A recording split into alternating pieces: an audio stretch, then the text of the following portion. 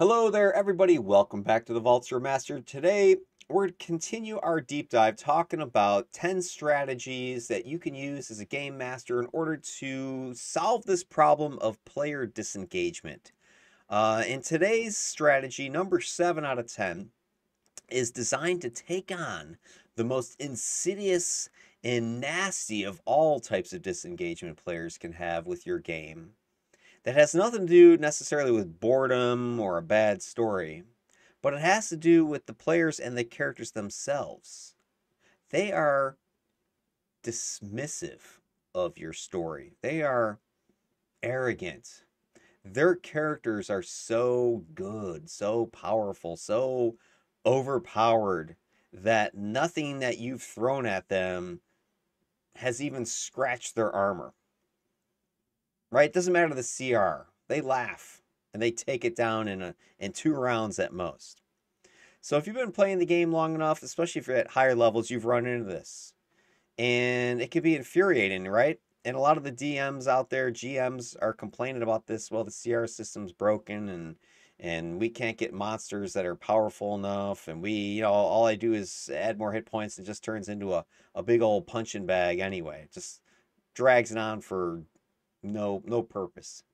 Well, instead of trying to figure out ways to challenge the players with just more hit points and and a higher to hit roll and more damage that this creature deals, why don't you hit these characters where it really hurts and challenge them emotionally?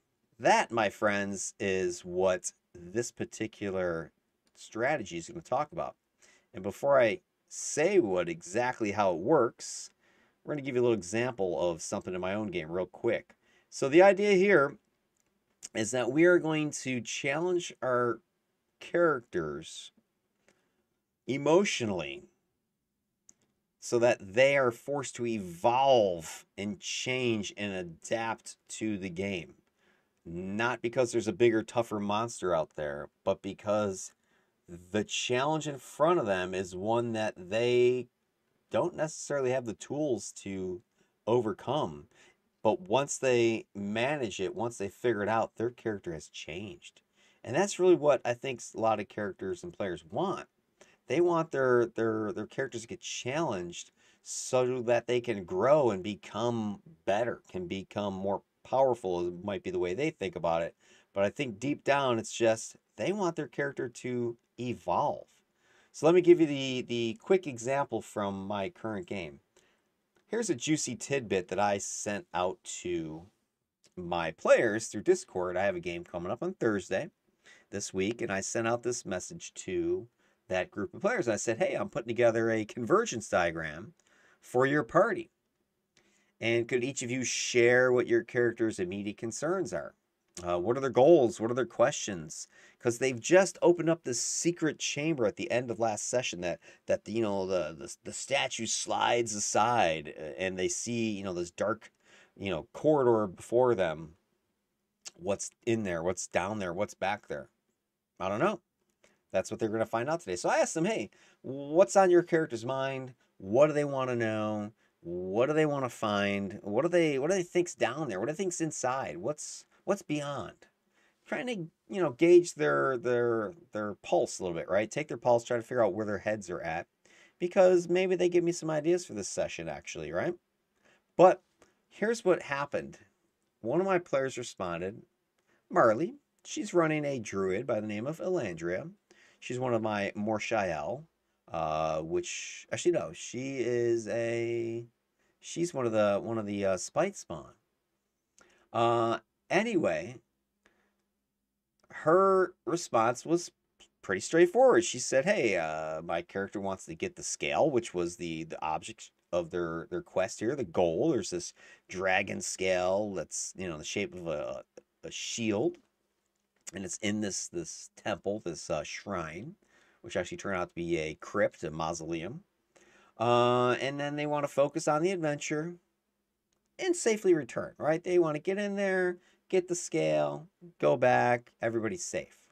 And then depending on what they find, maybe they'll come back later. Right? And then I asked, huh? Because now my now my my uh my GM juices start to flow because I'm starting to wonder something. Well, what would your character do? I asked her if somebody doesn't make it back because you're looking for a safe return. You know, where's your headspace with that? And then I follow that up with, or is Elandria just focused on her own safe return? Maybe she doesn't care. Because I want to know something here. Who is on Elandria's mind? Is it herself or is it her party? Because if I want to challenge this character, this is giving me some ideas. What do they care about? Because if I know what the character cares about, I can put that in jeopardy. And if I put that in jeopardy, I can challenge them. Has nothing to do with hit points. Has nothing to do with armor class, to hit rolls, or anything else. I just need to threaten something that they care about. And they tell me they want to have a safe return. Safe return for whom is what I want to know. So then her response, Marley is like, well, uh, she would try to bring them back. So that tells me everything this evil, sadistic GM needs to know. This character cares about her teammates. okay, because now my evil juices are starting to to bubble up right now. And I ask you, GMs, DMs, keepers out there, what would you do with this juicy little tidbit? Go ahead and put it in the comments uh, down below in this video and like and subscribe while you're down there. Uh, and let me tell you what I'm thinking. What if she is faced with a scenario where she can't bring everybody back? What if there's more than one? Not necessarily, and I don't have to kill anybody here, right? I just need to put them in danger. And then here's the other thing: I don't even need to put a PC in danger. What if uh, it's just an NPC that they care about? What if it's somebody from their backstory, somebody from their life, somebody they're supposed to be protecting? What if it's that kind of a person? And there's not just one, maybe there's two. And Elandria, she's not a strong uh, character. I think strength was her dump stat. Uh, and so Elandria, what if you have two two unconscious or two bodies or whatever you got to take back, and you can only carry one? Which one would it be? Or maybe one is your ally, and one is an important NPC you're supposed to be rescuing. Which one? You see what I can do here? I can take that character and challenge the bejesus out of them without even doing anything to that character. I don't need to throw an even bigger dragon at them. More hit points, more damage. No. I just need to make them make a choice. And I know this now because they told me. This is the important thing, ladies and gents, as far as getting information from your players about their characters because the more you know, the more you can mess with them. And that's what it's all about, right? So today's strategy is this. We want to force evolution upon our characters through challenges. This is really what I think these players who are that kind of cocky, arrogant, dismissive of everything because they're so powerful and they're so good and their teamwork is so awesome and they've got all the best loot and gear and you couldn't possibly harm them. I don't have to, right? I just need to challenge them some way, shape, or form, get them emotionally challenged because now I can I can break them if they don't if they don't respond correctly, right? I'm going to force them to do something that they don't want to do. So this is what we're talking about. We're talking about using the plot as a crucible. Okay. And we're gonna we're gonna get player growth because this is what I think these characters these players want. They want their their their character to to grow. That's what they really want. They're substituting in the idea of loot as growth. They're substituting in the idea of um, more items, magic, uh, more spells, more feats as growth. No, it's not if there's a character that has a story, growth is there's an arc, right? A beginning, a middle, and an end. And you're going through this arc. Force the movement through the arc as a crucible challenge. So as the plot is unfolding, you throw these challenges at the characters that don't necessarily have to target DCs and ACs, but just target their characters' wants and needs, their hopes and dreams, their strengths and weaknesses. Throw them into the fire and see what happens because they're going to have to grow or they're going to fail. And you don't have to kill anybody. You don't have to TPK anybody. See what happens when they fail a quest. I'll tell you, they'll be probably more mad than if their character died, right? Because their character died, I got another character, I made another character. But when they fail at a quest they were supposed to do, they didn't protect somebody, let's say, now you got them. They are going to be upset. All right, so hey, why are we doing this? Well, it's a real simple idea. All right, so the rationale here is that your character's personal journeys need to be influenced by the campaign's events. And what you're looking for by using this strategy is the responses to these challenges, because that's where the growth is going to come in. That's where the character's are going to develop that respect for your game, for your plot. That's how they're going to have this deeper connection to the story. It has nothing to do with big bad monsters and super evil traps, right? Instead, the challenges, the changes that they have to overcome and, and endure are the ones that get that emotional challenge, that emotional response, causing the player to grow, the character to grow. Nothing to do gear. All right, so let's get into how you can do this or at where you're going to apply this, etc. So application, dynamic characters. Characters need to undergo change throughout the story. End of story. That's what has to happen. Uh, it's they need to be transformed in response to the trials they face. Otherwise, what was the point? They start at level one as some druid, uh, you know, spite spawn uh, who has elemental power, and they end the game at level 20 as a spite spawn druid with elemental power. Yay, they've got more spells, they got more feats, they got more gear, but nothing ever happened. They slayed a thousand creatures, but nothing ever happened to them. They were never forced to change. They were never forced to grow. They were never forced to go through their arc. And yeah, I am using the word force because a lot of, you know, I mean, you're in charge of the game, right? A character's not going to go, oh, well, my character, my player need, or player's not going to say my character's going to change for the change, the sake of change. There needs to be something thrown at them to force the change, to make them change, to make them go through their arc. Okay, so move beyond just these static character traits and show how the experiences these characters have shape and redefine them. And it's going to make them more real. It's going to make the game more real. It's going to make everything relatable, this portrayal of them, because it's a real situation, right? We as people, humans, we undergo change. We're we're we're threatened and we have, you know, strife and a crucible that we have to go through. Same thing with these characters. Put the screws to them is what I've you I've said this before if you've seen my earlier videos. All right, let's continue. Where else can you apply this stuff? Uh, narrative integration. Your character development should be intricately linked to the plot events. So the plot is going to go as the plot's going to go. You're going to go A, B, C, D, right, through your plot. But your characters and their development, their growth should also be tied to that plot. So the plot is moving and the characters should be evolving along with the plot. Okay, if the characters just remain static, they're bored, especially if they've gotten so powerful that they can kind of exist outside of the plot.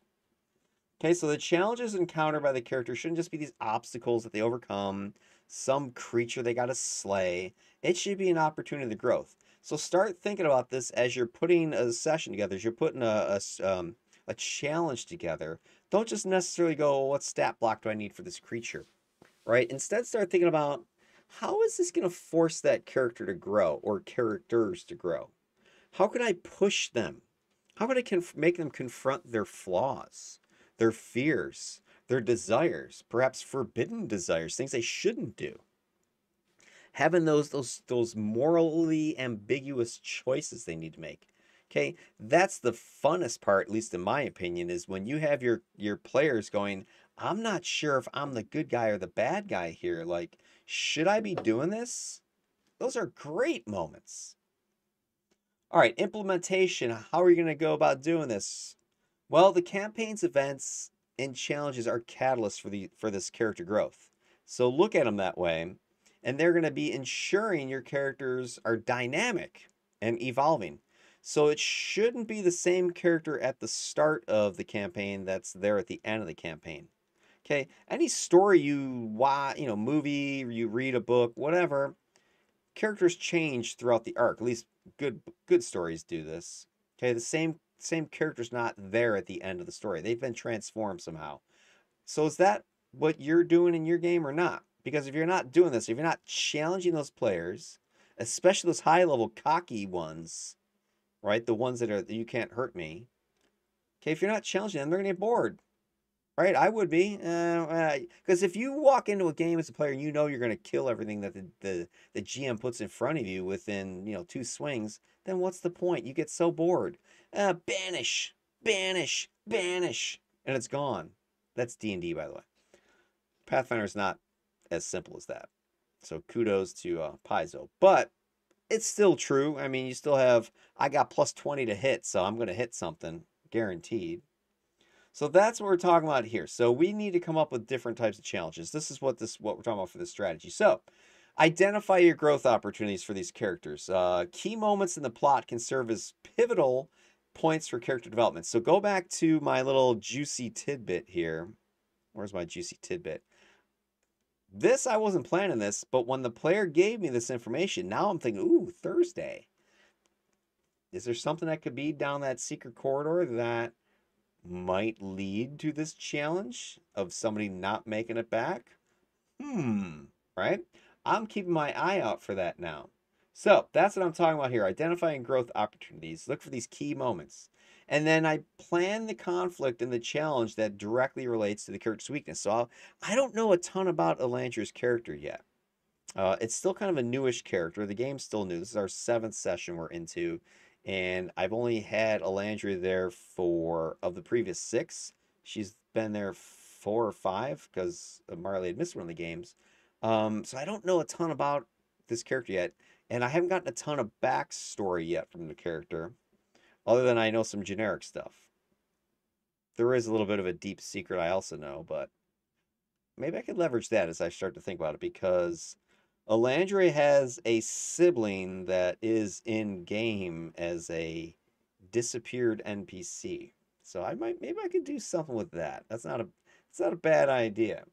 So anyway, conflict challenge directly relate to character weaknesses, goals, background. I know some stuff about Elandria, I just don't know a ton, but maybe I can use this this sibling angle and it's going to prompt them to make a difficult decision. So maybe within this secret uh, chamber, there's something about the this sibling who Elandria really doesn't even know exists. I mean, she, the player, knows this, but the character doesn't know this. So maybe there's something in there that reveals this, and now the character maybe has to decide: should I should I do something about this information, or save somebody's life over here? Right? I mean you know, maybe the place is on fire and the information that has the stuff about this this unknown sibling is suddenly there, but you know, smoke inhalation and one of her friends is colla- you know, collapsing. Do I save them or do I save the burning book over here, the scroll? Dun dun dun. What are you gonna do? Right? Again, I didn't have to lay a glove on this character to really challenge him with something like that. Feedback loops is the other way to implement this. Uh, character actions and plot developments are inextricably linked.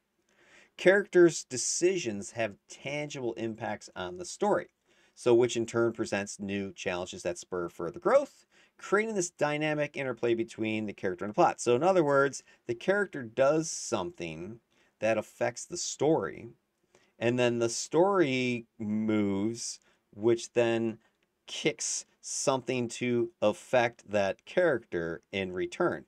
So it's this constant feedback. You push this way, it pushes back.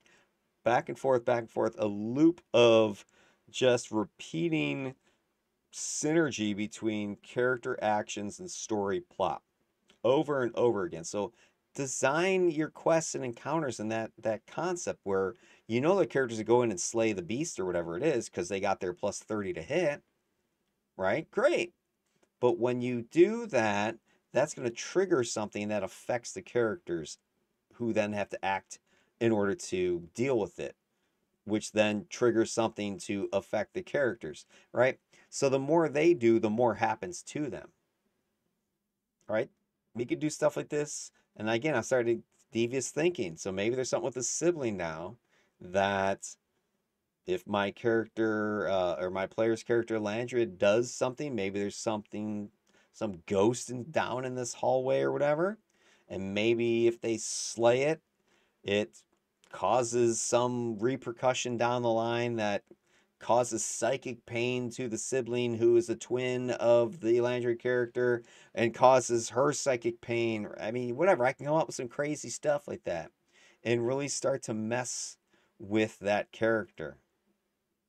It's fun. It's devious, right? It's it's sadistic and you're to you're to get these players second guessing everything, right? That's the beauty of it. Awesome. All right, so as far as an actual in-game um, events, I had one planned here. I was going to talk about an unlikely alliance between uh, my Tuesday players, but I'm not going to talk about this one because I just talked about the Elandria situation. I think that's more more interesting, relevant. Not that this is lame or boring, but it's just we've kind of heard about Nesney and the other group on Tuesday. I haven't talked much about my Thursday crew. So I'm going to kind of maybe leave this example for, for a different time. And instead, let's get into wrapping this up. Let's talk about the takeaways of this discussion, of this strategy here. So this this idea of the plots of Crucible, and you're you're gonna get your players to evolve by challenging them, and the challenges you're throwing at them don't necessarily have to do anything with uh you know physical might, damage, or whatever. So what are we saying? Character growth is a central element of your story. Okay, each plot event that you're planning should contribute to player arcs, to their characters' arcs. So as the story moves forward, the characters are moving forward. As the characters evolve and develop, so does the so does the plot. Adversity and decision making shape the character's journey. Okay, so they have adversity something bad happens. Doesn't have to do with damage to the character, right?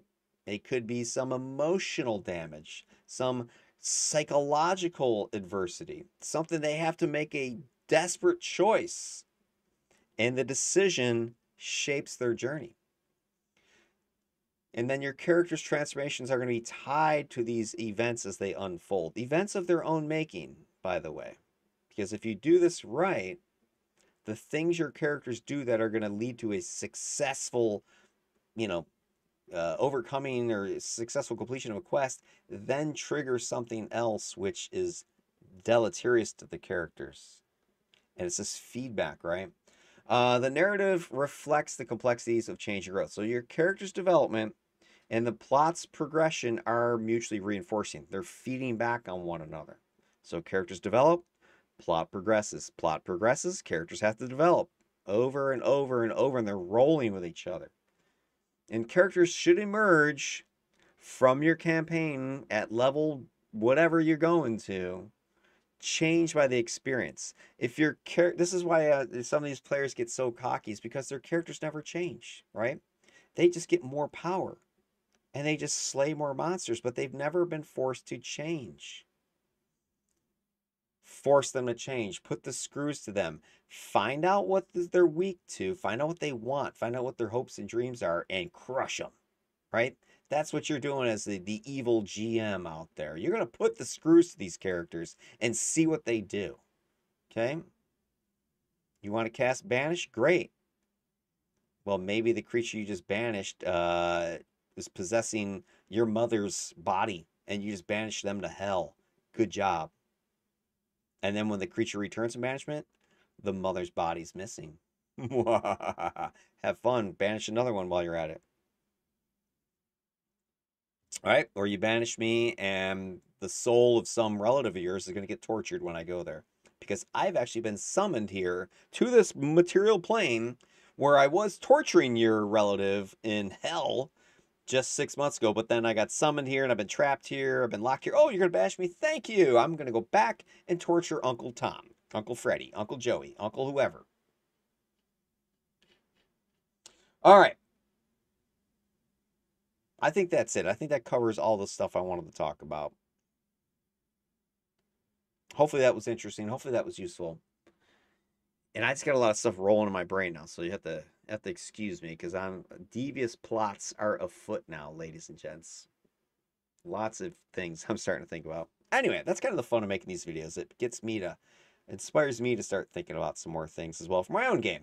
All right, hopefully that was useful. Hopefully that was interesting for you.